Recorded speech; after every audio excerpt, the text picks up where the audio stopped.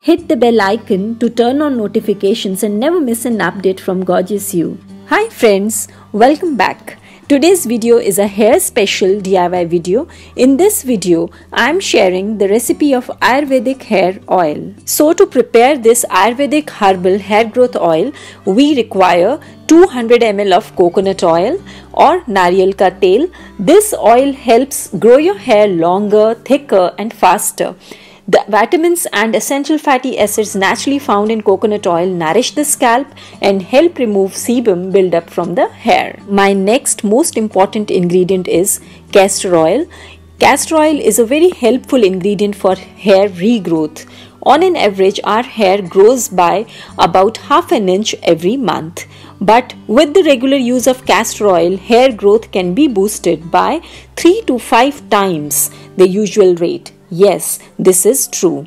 It not only spurs the hair growth, but the hair also becomes noticeably thicker within a few months of use. I am adding about 4 tablespoons of this oil.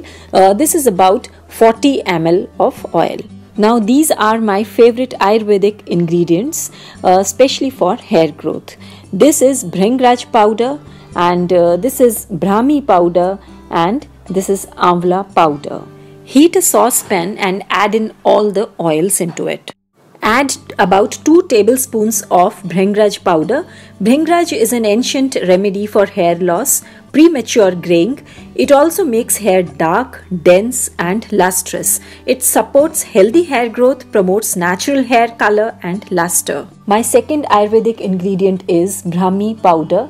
I'm adding about 2 tablespoon of this uh, powder into these oils. Brahmi is known to strengthen the roots of the hair and stop hair fall. It also checks dandruff and itchiness. It treats baldness very effectively. My final ingredient is Amla powder. I am adding about 1 tablespoon of this powder. Common reason for hair problems is the deficiency of vitamin C which is found abundantly in Amla. Amla is also called Indian gooseberry. It contains essential fatty acids which strengthen hair follicles giving your hair strength and luster. The surplus of vitamin C in Amla can help halt premature graying. It stimulates hair growth very very effectively due to its high iron and carotene content. So now we have added Bhringraj powder Brahmi powder and Amla powder or Indian gooseberry powder into these oils. Keep the flame at low, keep on stirring so that it will not get stick to the bottom of the pan. Don't burn the powder otherwise it will not be effective. Keep on stirring otherwise the oil will come out of the pan. Just after 5 minutes switch off the gas. Let it cool down completely. Store the oil in a glass bottle as the powders are very fine so I'm not straining it.